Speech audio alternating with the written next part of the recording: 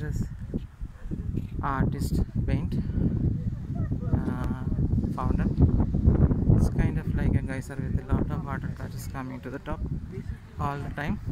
Probably height is something like 10 to 15 feet at most so maybe much smaller than old faithful but it is really coming up and frequently producing a lot of steams thank you for watching my video.